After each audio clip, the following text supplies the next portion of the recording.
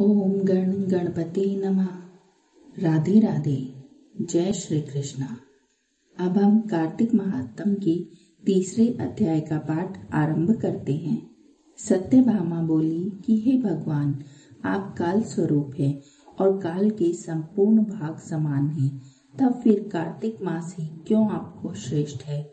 हे देव, सब तिथियों में, एकादशी और सब महीनों में, कार्तिक का महीना ही आपको क्यों प्रिय है? श्री कृष्ण बोले कि, हे कांति, तुमने अच्छा प्रश्न किया है। एकाग्रचित होकर बेन के पुत्र प्रथु और महर्षि नारद का संवाद सुनो, जिसे पहले प्रथु ने नारद से पूछा, तब नारद जी ने कार्तिक मास की श्रेष्ठता कही। नारद जी बोले, पहले सागर का पुत्र शंख नामक राक्षस त्रिलोकी के मथुरे में समर्थ हुआ। उसने संपूर्ण देवताओं को जीत स्वर्ग से निकालकर इंद्रादि संपूर्ण लोकपालों के अधिकार अपने हाथ में कर लिए। सब देवता उसके भय के मारे अपने अपने स्त्री, पुत्र आदि लेकर बहुत वर्ष तक सुमेरु पर्वत की गुफाओं में वास करते रहे। जब देवता गुफाओं में रह रहे थे, तब शंखासुर ने विचार किया, मैंने देवताओं को तो जीत लिया है तो भी वे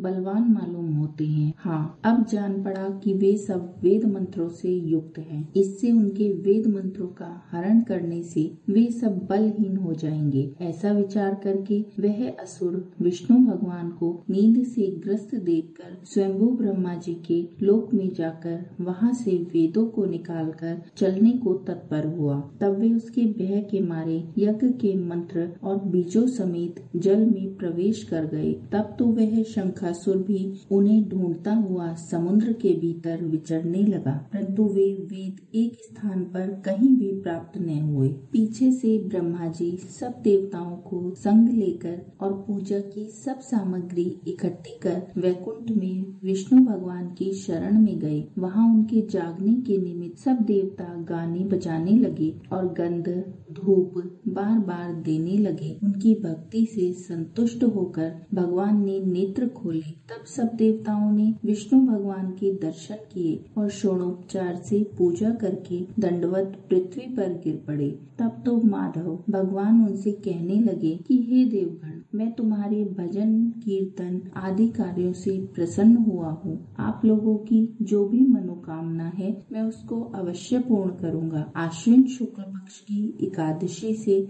देव अपनी एकादशी तक प्रहर भर रात्रि रहे, तब से जो मनुष्य तुम्हारी तरह भजन कीर्तन करेंगे, आएँगे, वे मुझे प्रसन्न कर मुझे प्राप्त होंगे। शंखासुर जिन वेदों को हर लाया है, वे सब जल में स्थिर हैं, उन्हें मैं शंखासुर को मार कर लाऊँगा। अब से बीज मंत्र समेत सब वेद प्रतिवर्ष कार्तिक के महीने में सदा जल में निवास करेंगे। मत्स्य रूप धारण कर मैं जल में जाता हूँ। तुम संपूर्ण मुनियों को लेकर संग आओ। इस लोक में जो अच्छे मनुष्य प्रातः काल स्नान करते हैं, वे निश्चय ही अक्षत स्नान के फल को प्राप्त करते हैं। जो कार्तिक में सदा व्रत करते हैं, उनको, हे इंद्र, तुम मेरे लोक में पहुँचा दिया करो। हे यम, तुम सदा उनकी विघ्नों से रक्षा करते रहो। और हे वरुण, तुम उनको पुत्र, पौत्र आदि देते रहो। हे कुबेर, तुम उनकी धन वृद्धि करते रहो, जिससे यह मेरा रूप धारण कर साक्षात जीवन मुक्त हो जाए। और हे